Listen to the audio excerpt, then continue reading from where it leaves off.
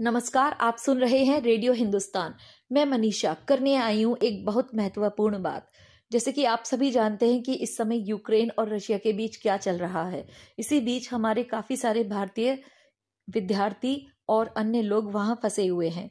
इसी बीच एक और बात सामने आई, एक वीडियो वायरल हुआ जिसमें स्टूडेंट्स को लौटते हुए दिखाया जा रहा है और वो मज़ाक बना रहे हैं। इंडिया का, इंडिया की गवर्नमेंट का, या बहुत हंस रहे हैं।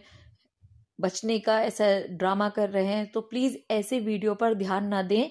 Be logical and sensitive enough और स्टूडेंट्स को या किसी उनके माता पिता को क्रिटिसाइज ना करें।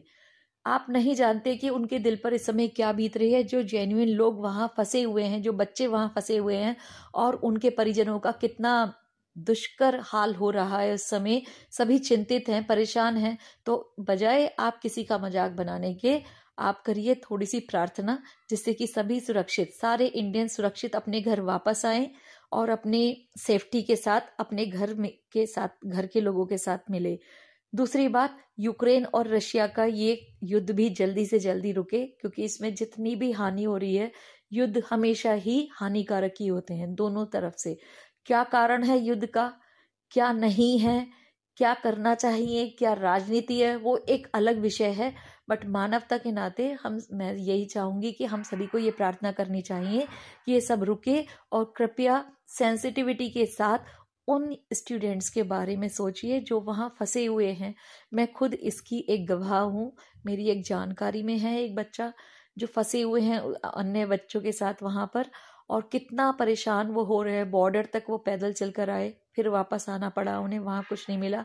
गवर्नमेंट अपनी तरफ़ से कोशिश कर रही है, और हम जितनी संभव कोशिश कर पा रहे हैं, ऐसे स्टूडेंट्स को वापस लाने में गवर्नमेंट भी कर रही है तो उनका सहयोग करें। कृपया उनका मज़ाक न बनाएँ।